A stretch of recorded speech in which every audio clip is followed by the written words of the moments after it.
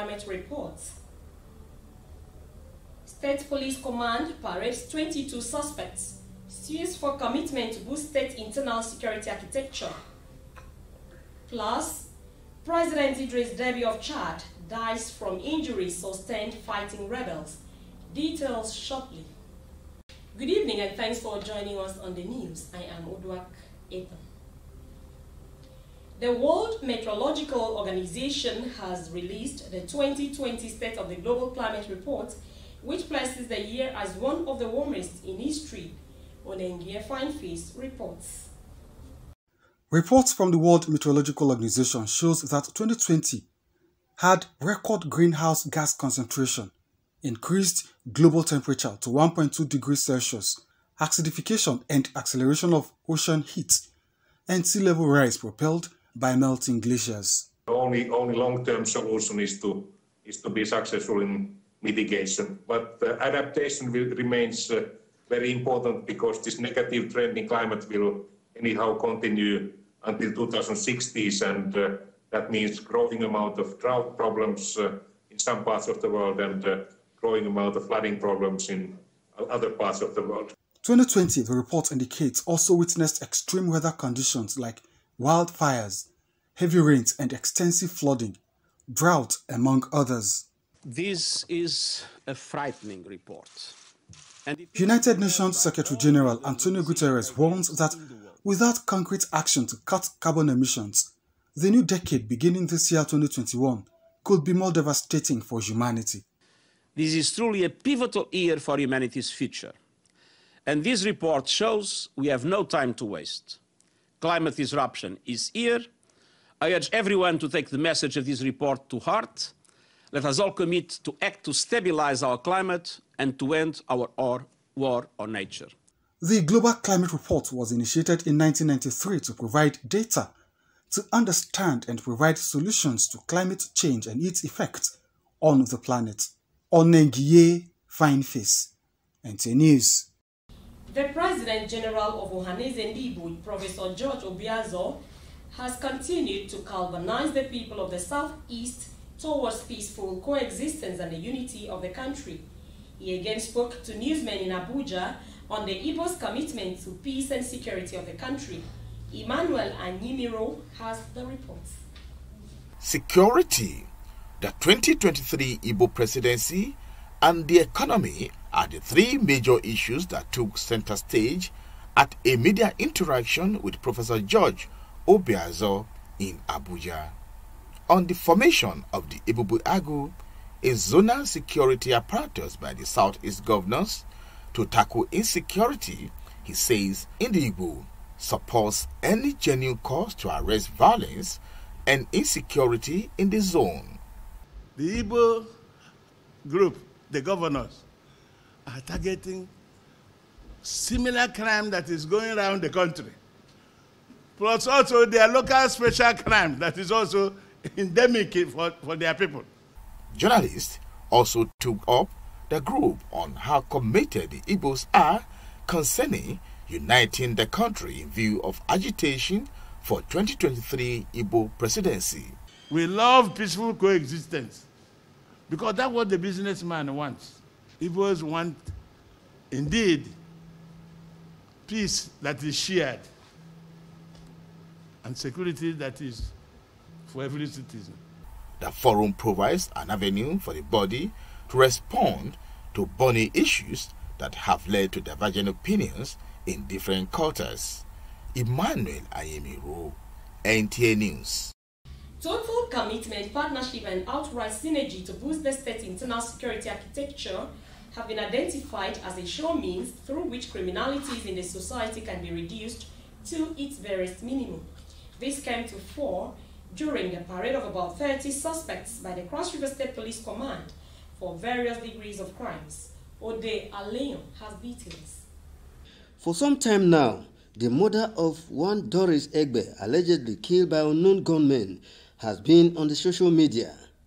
Luck seems to run out for these suspected perpetrators of that crime as Cross River State Police Commissioner Sikiru Akande parade person suspected to be involved in the murder of the said Mrs. Doris at First Avenue State Housing Estate, Calabar. The commissioner said the command has resolved to resist any form of attack by criminal elements in the society. One of those incidents is what happened in state housing, where a woman was attacked by some boys. We've gone after those people, we've got them arrested, we've recovered all the items that were taken from the woman's abode. Mr. Conde says the command is working in line with the vision of the Inspector General of Police on crime fighting strategies. Before this time, we've had our own fair share of attack on our policemen, attack that has led to loss of firearm. But Items recovered from the suspects include Nissan Sentra vehicle, 57 inches plasma TV, Prado Jeep, and a Mercedes-Benz, both without registration number. Other items recovered are one double-barrel locally made pistol, two live cartridges, two dozens of ceramic flat plates, DSTV decoders, among others. Some of the suspects confessed to the crime, including a mother of nine, alongside her daughter who deals on hard drugs. I was only called. He called me said, let me follow him and go and carry something. Because my father, my husband is dead, so there is no no air for me. All the uncle came and chose the business for us. How I got involved in the car theft, according to my he showed me the letter, the agreement, the sales agreement, of which my master used my phone number. The Commissioner of Police, Sikiru Akande, is appealing to other security agencies and the public to help the police expose criminal elements who choose to breach the peace in the society.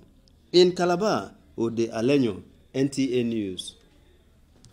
The Zonal Police Headquarters Zone 13, Anambra State, has been attacked by suspected gunmen with offices and operational vehicles in the premises destroyed. Udo Okoronkwo Chukwu has details. Zone 13 Police Headquarters, located along Enugu-Onitsha Expressway, is about 10 kilometers away from the state capital, Awka. It came under the attack in the early hours of today. NTA News gathered that about 20 unknown gunmen allegedly set the security outposts and some offices ablaze. Operational vehicles in the premises were also touched.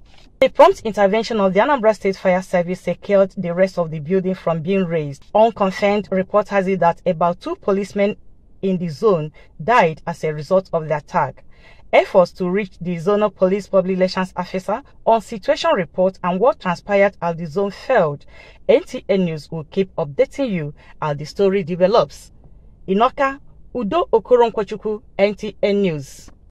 Nigeria Center for Disease Control has recorded 17 new confirmed cases of COVID-19 as at 19 April 2021. Lagos has the highest record of 27 cases, followed by Kaduna and Ondo states with 16 cases each, Yobe 6 and Bauchi 5 cases. Till date, the total confirmed cases of the virus stands at 164,303 with 154,384, while 2,061 died of the disease. You are still watching NTA Calabar News at 7. You can watch this newscast on our YouTube channel at YouTube slash NTA Calabar. The news continues after this timeout. Stay with us to you anywhere you are. News updates showing on your channel of choice, NTA Channel 9 Calabar, afford you opportunity to get it fresh, hot, and loaded. 3 minutes newscast of headline story every Monday, Wednesday, and Friday. You can't afford to miss it. It is the news update on NTA Calabar, the station for the people. Welcome back and thanks for being there. Another 105 youths from Gombe State have graduated from the ITF's National Skill Development Program with Startup Park HB. Abbas Maikano reports that the beneficiaries are expected to be not just self-employed, but employers of labor. The National Industrial Skill Development Program is one of the series of skill acquisition interventions introduced by ITF to facilitate the federal government's policy on job and wealth creation for the teeming unemployed Nigerian youths. I feel very like seriously, because they really try for us. They give us transport, they give us more money, they give us some items. Right now, we are going to collect the items today. But all type of women dress, we can make it we can make also the males one, and then we know how we can manage our business. Over 200,000 Nigerians nationwide have so far benefited from the program, with over 5,000 from Gombe State. Gombe State Governor Muhammad Inuwa Yahaya, represented at the occasion by his deputy Manassah Jatau, congratulated the graduating trainees and encouraged them to utilize the opportunity maximally. Your importance comes to play when you and only you appreciate you that all human activities, is it technology, is it whatever we have, will depend on the skills that we have. All the 105 trainees got starter pack in addition to three-month intensive skill acquisition training on tailoring, cosmetology, information and communication technology. The unemployment rate is very high. Uh, you people, the, the trainees were given training free of charge. They were given they were given a starter pack for them to go and start a living. We are going to monitor them. We just don't want them to be self-employed, but we want them to be employers of labor. We are to provide the skills. SMEDAN has to give them entrepreneurship skills, and Bank of Industry is to provide them with loans. 50 of them acquire skills on tailoring, 40 cosmetology, while the remaining 15 were trained on ICT. In Gombe, Abbas Maikano, NTA News.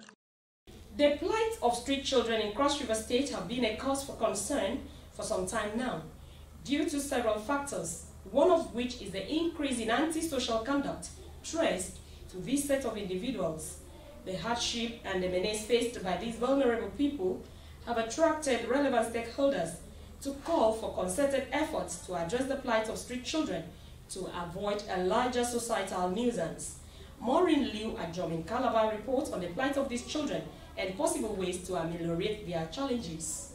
Living as a street child could better be imagined than experienced. Life in the street as a juvenile has been described by experts as a state of misery, woes, and hardship, especially at the time of the COVID 19 pandemic. For this set of children, it is a life of crisis and uncertainty, with exposures to unhealthy physical and environmental conditions that threaten their lives and that of other members of the society. Our mother, our father don't, don't die. That is why we we there for street. We didn't come out of our street with us for a walk. It is, it's because of my father wife wey be say she no dey give me food fast that's why i comot fast. we just dey stay here dey beg money it's my father that pursue me out. Experts post that the plight of street children, notwithstanding, calls for a swift humanitarian response through the provision of welfare packages and protective kits to prevent them from contracting COVID 19.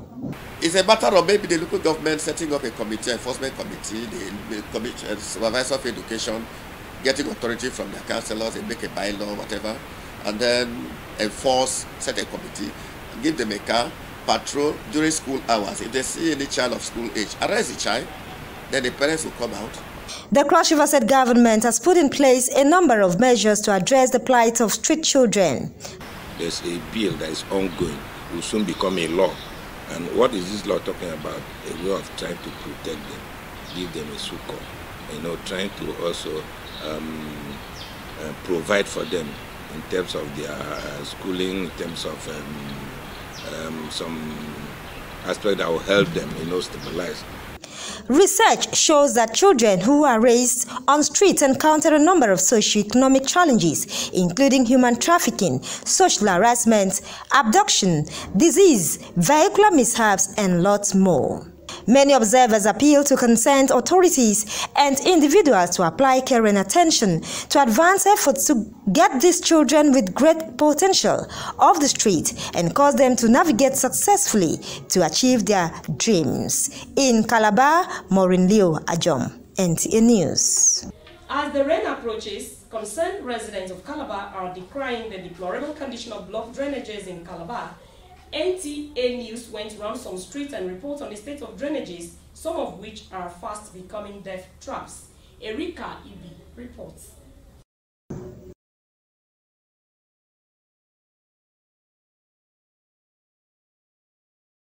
Apart from statistics, drainages provide to towns, cities, as well as planned areas allow for the free flow of water.